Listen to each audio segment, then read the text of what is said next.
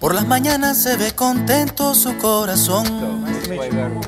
Sonrisa fresca de mano en mano que acarició.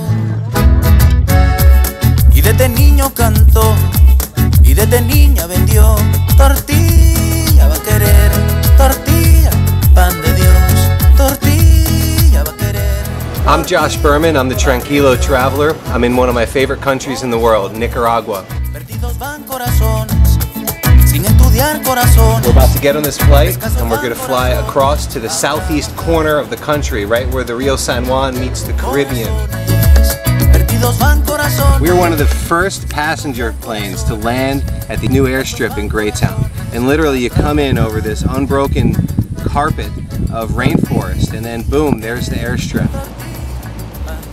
This was about a $12 million project or so. They're hoping to draw tourists, sport fishermen, nature lovers, active, adventurous people who are not afraid to go into the rainforest and want to see the wildlife that this area has to offer. We're staying at the Rio Indio Lodge, which is just unlike anything I've seen in Nicaragua. All the rooms connected by a network of catwalks through the jungle canopy.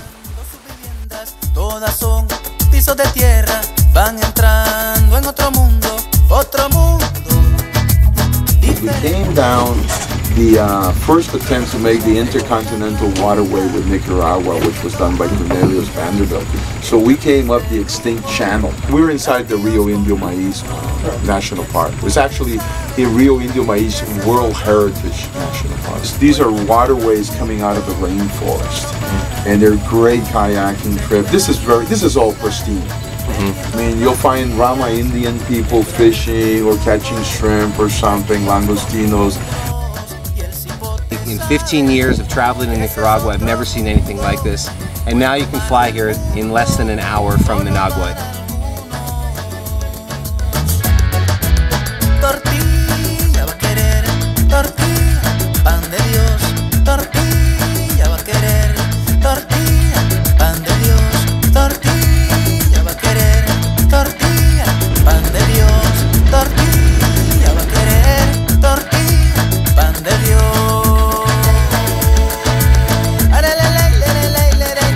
Guys ready for your flight?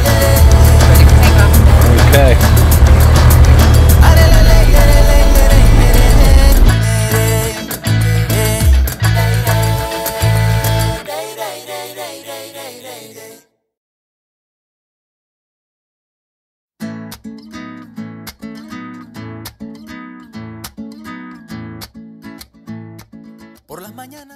Late November, we have all the birds flying down through here.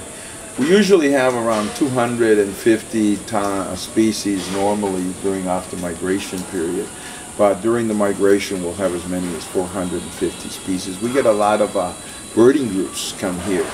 And the, the great thing is when they tell us, oh, we saw five lifers today. That's a bird they've seen for the first time in their life.